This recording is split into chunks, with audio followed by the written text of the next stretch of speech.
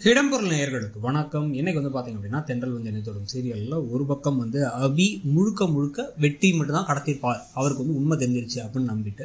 ஒரு கலெக்டர் ஆகட்டும் வந்து ஒரு போலீஸ் ஆஃபீஸர் ஆகட்டும் அவங்க ரெண்டு பேருமே என்னென்ன ப- வகைகளில் பிரச்சனை வரும் அப்படிங்கிறத multiple thinking out of the பாக்ஸ்லாம் பண்ணி இவங்களா இருக்குமா அதான் இருக்குமா அதான் இருக்குமா அப்படின்னு சொல்லிட்டு யோசிக்கலாம். அதெல்லாம் விட்டுட்டு ஒரே ஒரு ஆள் மேலே ஃபோக்கஸ் பண்ணி அவர் எங்கங்கிறத கண்டே பிடிக்க முடியலங்கிறதெல்லாம் சரி என்ன சொல்கிறதுன்னு தெரில ஸோ இதுக்கு நடுவில் வந்து அங்கே வெற்றி வந்து பார்த்தீங்க அப்படின்னா வந்து வெற்றியும் பாப்பாவும் தனியாக உட்காந்து பேசிட்டு இருக்கிறத பார்த்துட்டு யாரோ ஒருத்தவங்க வந்து ஒரு மூணு பேர் வந்து பிரச்சனை பண்ணுறாங்க அது ப்ரோமோவில் காமிச்ச அதே விஷயம் யார் அது? உனக்கும் அந்த பொண்ணுக்கு சம்மந்தமே இருக்க மாதிரி தெரியலங்கிறாங்களா அவரோட சொந்த பொண்ணுப்பா.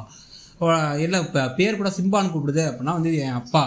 எங்கள் அப்பா மேலே கை வச்சா நான் உனக்கு போலீஸை பிடிச்சி கொடுத்துருவேன்னா அவர் சாரி கேட்டு போயிடுறாங்க. இதுக்கு அப்பா என்ன அப்படின்னா இல்லைன்னா ஒன்று அடிப்பாங்கல்ல. தேவையில்லாமல் சண்டை வரும்ல. அதனால தான் அப்படின்னு இந்த பொண்ணு சொல்லிடுது.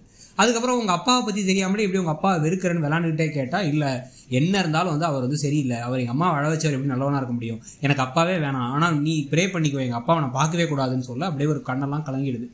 ஆனால் இப்போ என்ன பண்ணுறது உண்மையை சொல்ல முடியாதுன்னு அவர் முடிச்சிட்டு இருக்காரு. இதுக்கு நடுவில் வந்து இது எதுக்கு பாஸ் இருக்கு இன்னும் அப்படிங்கிற மாதிரி வந்து இப்போ வந்து வெற்றியோட வீடை எப்பெல்லாம் காமிக்கிறாங்களோ அங்கே நடக்கிற ஃபன்னி திங்ஸ் காமெடின்னு காமிக்கிறாங்களோ அது எதுவுமே ஒட்டவே இல்லை கதையிலங்கிறது தான் உண்மை. ஸோ முன்னாடி அரங்கநாதன் இருக்கும் பொழுது இல்லை வந்து சங்கர் நாராயணன்லாம் வந்து பீக்கில் இருக்கும்போது வந்து சூப்பராக இருக்கும். ஃபேமிலியை காமிக்கும் போதே நிறைய விஷயங்கள் சூப்பராக இருக்கும். இப்போ கதையை எங்கேயோ தசை இல்லாமல் கொண்டு போயிட்டு அந்த ஒரு ஹார்ட்டான ஹார்ட்ஃபுல்லான ஒரு மொமெண்ட் எமோஷனலான மூமெண்ட்ஸ் எல்லாம் வந்து அவ்வளோ பெருசாக அந்த ஃபேமிலியோட நம்ம கனெக்டே இல்லை. ஏன்னா அதுக்கு பாதி நேரம் கமலாவும் வேறு ஏதாச்சும் மடத்தனமாக பேசிக்கிட்டே இருப்பாங்கன்னு வச்சுக்கோங்க.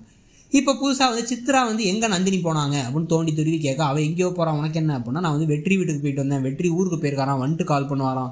அப்படின்னு வேற சொல்ல உடனே இது வந்து நான் என்னன்னு கண்டுபிடிச்சே தேடுறேன். அப்படின்னு சித்ரா தனியாக இன்வெஸ்டிகேஷன் வேலையில் இறங்குறாங்க. எது அபி வரைக்கும் போய் அபி இப்படி குழந்தைக்காரன்னு சொன்னதா? நமக்கு ஒன்றும் புரியல.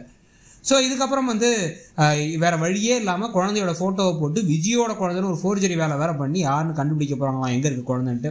கொடைக்கானல்லேருந்து செய்தி வந்து இவங்கெல்லாம் கொடைக்கானல் போகிற காட்சிகள் வேறு வர வாய்ப்பு இருக்குது இது எல்லாத்தையும் பற்றி நீங்கள் என்ன நினைக்கிறீங்கிறத சொல்லுங்கள் தேங்க்ஸ் இடம்பொருள் நேயர்களுக்கு வணக்கம்.